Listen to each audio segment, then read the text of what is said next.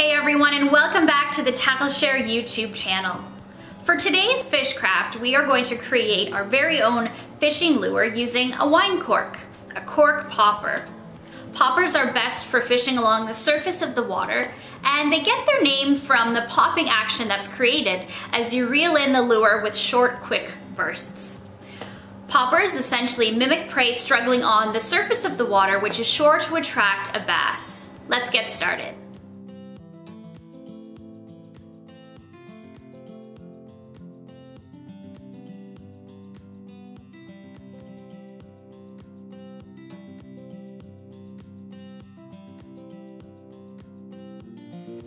First use a Phillips screwdriver to create a hole right through the middle of the cork.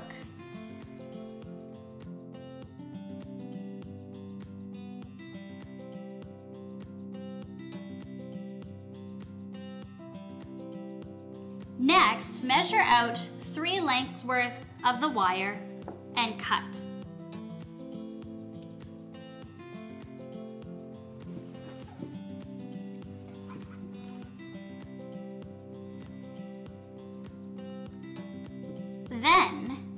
Wire and pinch it about approximately one inch from the end and bend it to make a loop.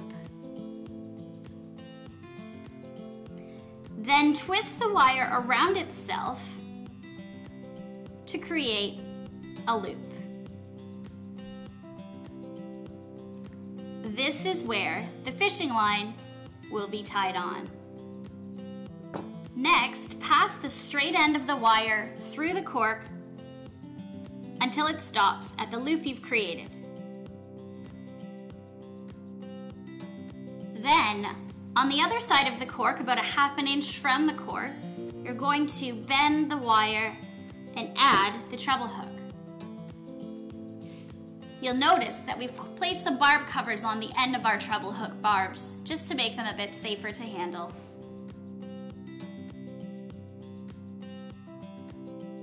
Now that you've got the treble hook on, wrap the wire around itself to secure the hook.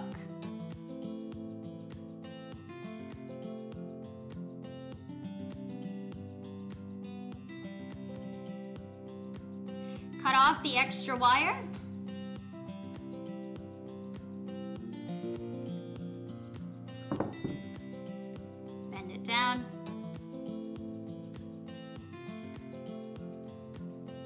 Ready to go fishing. Practice the knots you've learned to tie fishing line onto your lure. Rig it up using monofilament or braided line, a moderate action or medium powered rod, and a bait caster or spin cast reel. Cast it out along the edge of cover, branches, fallen trees, a dock. Think like a bass. Where would you want to hide? And reel it in using short, quick spins on the reel. As the cork popper pulls through the water, the resistance causes water to splash up and trick a fish into thinking there's prey struggling on the water's surface. Happy fishing! And once you've finished creating your cork popper lure, take a photo, we'd love to see it. Post it on social media and tag us at TackleShare. And let us know if it works out on the water this spring. Don't forget to like this video and subscribe to the TackleShare YouTube channel to keep more fishing content coming your way. See you next time.